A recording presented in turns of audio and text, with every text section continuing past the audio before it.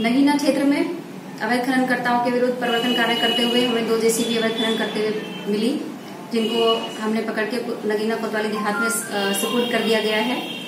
इसके अलावा भी हमारे विरुद्ध, अवैध खननकर्ताओं के विरुद्ध हम लगातार कार्रवाई करते रहते हैं। इससे पहले भी दो जेसीबी हमने सीज की हैं और अलग अलग क्षेत्रों में वो जो है सुपुर्द कर दिया उन पर कार्रवाई भी हुई पेनल्टी भी लगी।